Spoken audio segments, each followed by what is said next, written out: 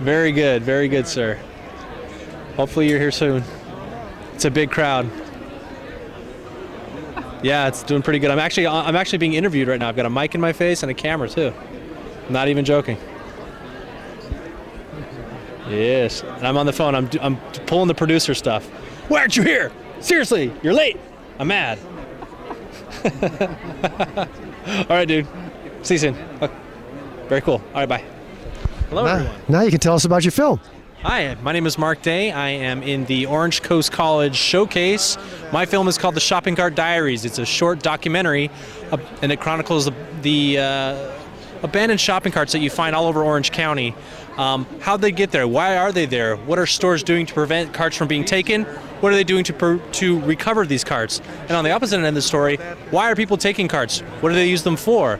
And do they need them for their livelihood? You'll see it all at the Orange Coast College Shorts. It's on April 25th. That's a Sunday at 3 o'clock. Come check it out with eight other filmmakers, including myself. Mine is Shopping Cart Diaries, but it's OCC. Thank you very much.